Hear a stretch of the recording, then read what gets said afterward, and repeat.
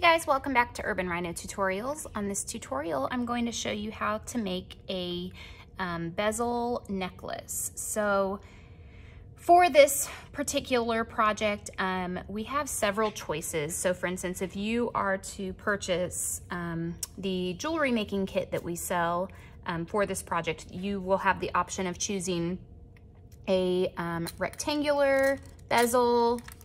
I can get one out of here um, like this, um, an oval, or um, this one with the filigree. So it's um, has like this kind of scroll work around it. Um, and there are also different kind of hardware colors. So this is more of an antique gold. This one's a softer gold, um, rose gold, black, silver, bronze, all that fun stuff. When you begin, if you choose, again, to purchase the kit, you will receive um, some different scrapbook um, papers here, some options that you can choose from um, to fill yours up. Or obviously you can use something of your own. If you have a picture you wanna put in there, um, a little quote, a, um, a fabric would work if you can get it you know, cut neatly and placed in there. Any of those things will work. Um, so to begin, um, what we're gonna do is I'm gonna choose one of these. So I'm gonna use the gold. Um, and I think I'm going, oh, the decisions. I think I'm gonna go with, I like this one, but I would use this one, I think, with the um, rose gold. That's pretty. What do we think? Let's do the flower. So um, to do this, what I wanna do is use the top.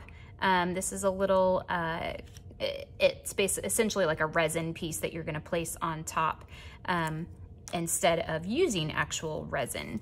So you're gonna find, you know, the section of your picture, scrapbook paper, whatever that you want to do, um, and you're just gonna trace around it. So I'm looking around to see which little area I like best.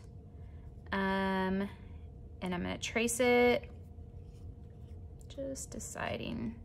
I want some of this red in here. Okay.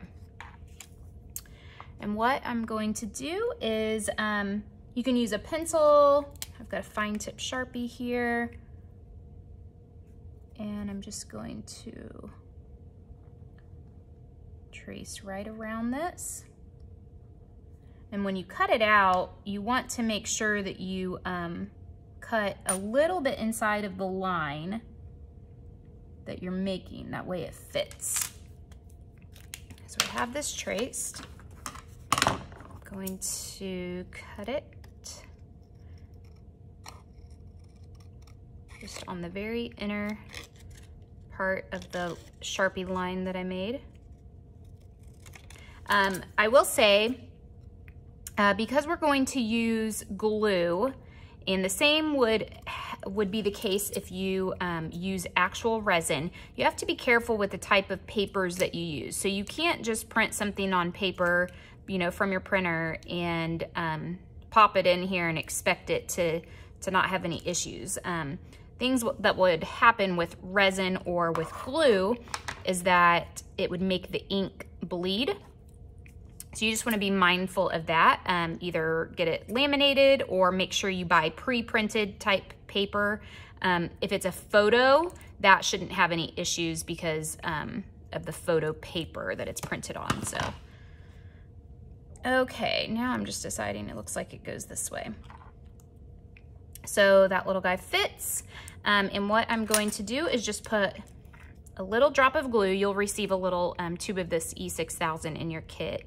And I will include a link in the um, description below if you're interested in purchasing this.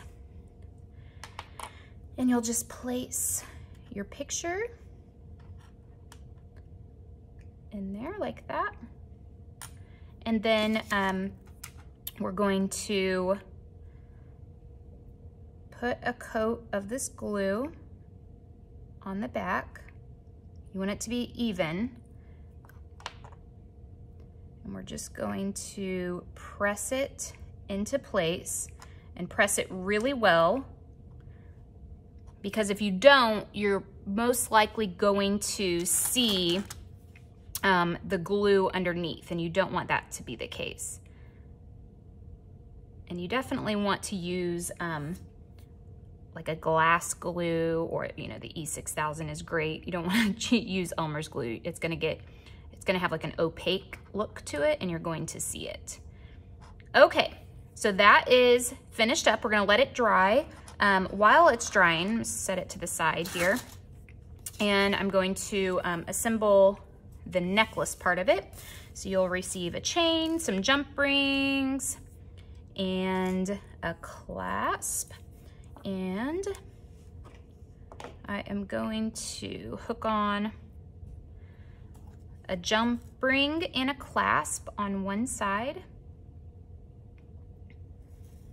And you can um, cut the chain, you know, to the size that you want. So if you want a shorter necklace, you can certainly do that.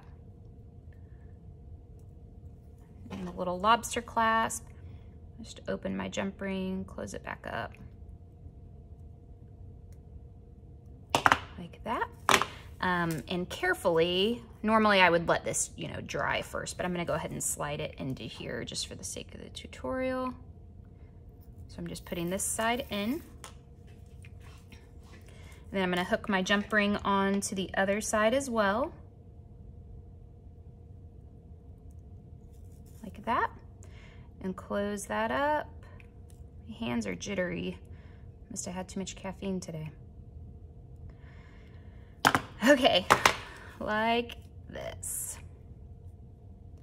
And there you have it. So very easy, um, resembles the look of resin and kind of like a, it has kind of a glass domed look that's really cute.